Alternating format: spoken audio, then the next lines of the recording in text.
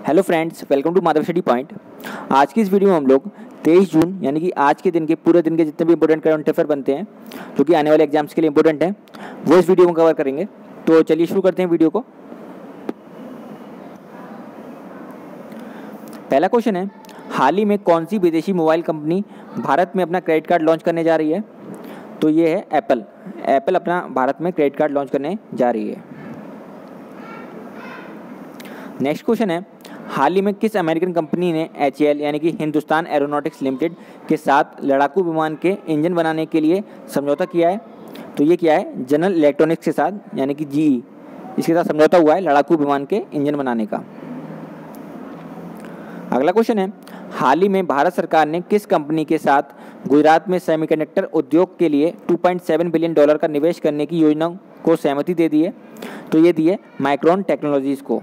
ये भी America based company है, जिसको सहमति दे दी गई है गुजरात में सेमीकंडक्टर उद्योग पर काम करने के लिए। अगला क्वेश्चन है, हाल ही में कौन BRICS chamber of commerce and industry women vertical की नई अध्यक्ष बनी है? तो ये बनी है रूबी सिन्हा जो कि फाउंडर हैं शी एट वर्क की ये अध्यक्ष बनी है BRICS chamber of commerce and industry women's vertical की।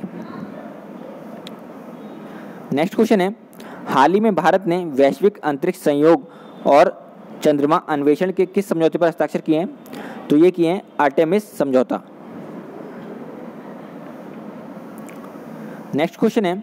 हाल ही में किस देश में 1961 के बाद पहली बार जीडीपी के 100 परसेंट के पार पहुँचा शुद्ध कर्ज?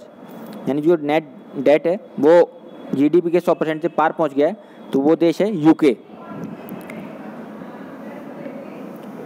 अगला क्वेश्चन है, हाल ही में किस शहर ने योग दिवस पर सबसे बड़ी सभा का ग्रीज वर्ल्ड रिकॉर्ड बनाया? तो ये बनाया है सूरत ने। एक पॉइंट तिरपन लाख लोगों ने यहाँ पे एक साथ योगा किया, जिससे ग्रीज वर्ल्ड रिकॉर्ड बनाया गया सूरत में। अगला क्वेश्चन है, हाल ही में जारी ग्लोबल जेंडर गैप इंडेक्स 2023 में भारत की क्या रैंकिंग है? तो ये रैंकिंग है 127 टोटल देश थे एक सौ देशों में एक सौ रैंक है भारत की। ग्लोबल जेंडर गैप इंडेक्स दो हज़ार तेईस में। अगला क्वेश्चन है, तेईस जून को मनाए गए अंतर्राष्ट्रीय विधवा दिवस, यानी आज के दिन जो मनाया गया अंतर्राष्ट्रीय विधवा दिवस, का थीम क्या था? इसका थीम था innovation and technology for gender equality अगला क्वेश्चन है फिच रेटिंग्स ने हाल ही में वित्तीय वर्ष दो हज़ार में भारतीय आर्थिक वृद्धि जीडीपी के लिए अपने पूर्वानुमान को संशोधित करके कितना किया है? तो ये किया है 6.3 परसेंट। पहले इन्होंने अनुमान लगाया था 6 परसेंट का, पर अब इसको बढ़ाकर कर दिया है 6.3 परसेंट फिच रेटिंग्स ने।